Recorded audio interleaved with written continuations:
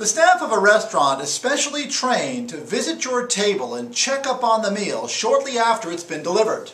They come by, usually just after you've put a load of food in your mouth and ask, how is everything?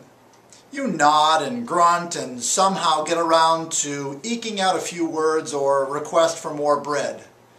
On the way out the door, the hostess asks that same question and a final attempt to catch any issues before Yelp does.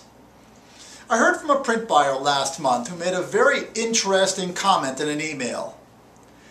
I'm waiting for the day when a print salesman will call me the day after a conference, trade show, or meeting for which they supplied the printing and ask how we did.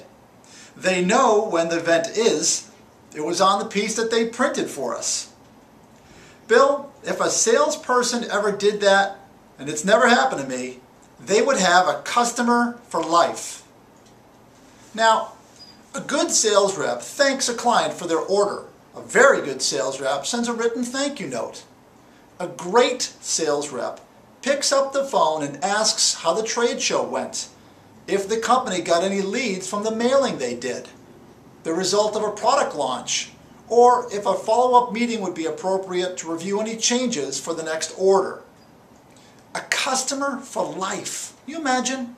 That's what happens when you stop seeing yourself as a provider or a vendor and start seeing the bigger picture and focus on a client's business needs both before and after your product ships. Be different, be extraordinary, be remarkable. Take that one extra step by asking a simple question. A customer for life.